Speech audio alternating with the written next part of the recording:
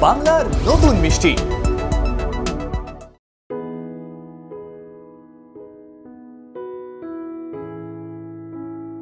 বারোই সেপ্টেম্বর শনিবার দু হাজার কুড়ির দিনটা শুভশ্রীর জীবনে মধুরতম অনুভূতির স্বাদ এনে দিল।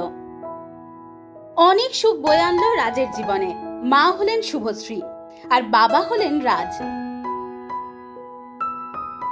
শনিবার পার্ক স্ট্রিটের একটি বেসরকারি হাসপাতালে পুত্র সন্তানের জন্ম দিলেন অভিনেত্রী।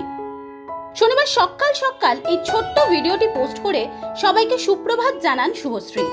যা দেখে অনেকেই আন্দাজ করে নেন তার জীবনে দারুণ কিছু ঘটতে চলেছে। একই সঙ্গে রাজ পোস্ট করেন এই ছবি আর লেখেন very good morning have a great day বুঝিয়ে দেন, বিশেষ কিছুর জন্য জার্নি স্টার্ট।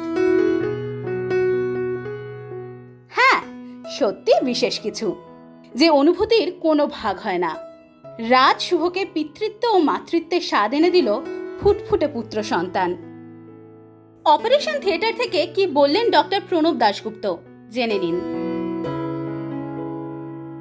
হ্যাঁ ডাক্তারবাবু হ্যালো। ছেলে ছেলে। ছেলে হয়েছে হ্যাঁ।